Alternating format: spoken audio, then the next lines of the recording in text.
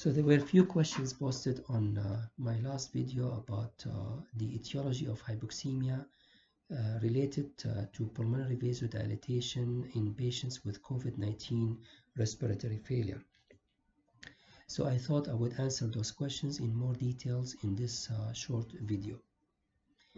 And the situation is very similar to the hepatopulmonary syndrome that we see in patients with liver cirrhosis where the nitric oxide is directly responsible for the pulmonary vasodilatation in those patients. What you see in this graph here on the left side is a normal lung with a uniform ventilation and a uniform perfusion. Thus, the ventilation to perfusion ratio is normal. And the venous, uh, the mixed venous blood will get oxygenated normally as it passes through the vasculature of the lung in close contact with this alveoli.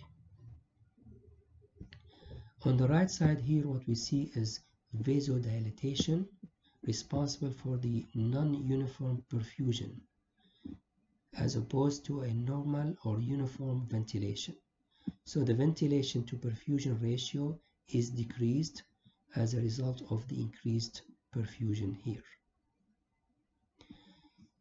Then as the mixed venous blood uh, passes through this vasculature, there is a limitation in terms of uh, the diffusion that causes hypoxemia in those patients. This would be a normal oxygenation process, but in this area here where the vessels are dilated, we have diffusion limitation. This diffusion limitation is uh, related to two different mechanisms. The first one is related to the size of the vessel here. So as you see here, this is normal vessel and uh, the oxygen will get to those RBCs that are passing through this vessel.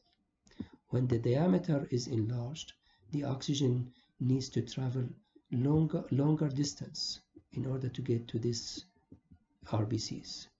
So normally what will happen is that those close RBCs that are in close contact with the capillary endothelium will get oxygenated and the oxygen will not get to the uh, RBCs that are further away from the capillary endothelium.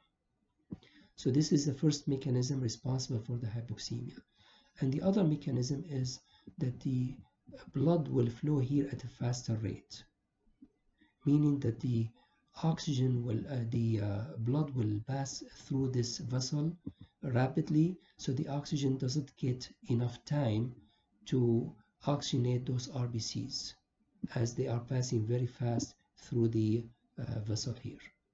So these two mechanisms are responsible for the diffusion limitation that will be uh, leading to hypoxemia that we see in patients with vasodilatation. Again, this is what we see in patients with uh, hepatopulmonary syndrome as well as in patients with COVID-19 uh, uh, phenotype L in early stages of respiratory failure. Thank you very much.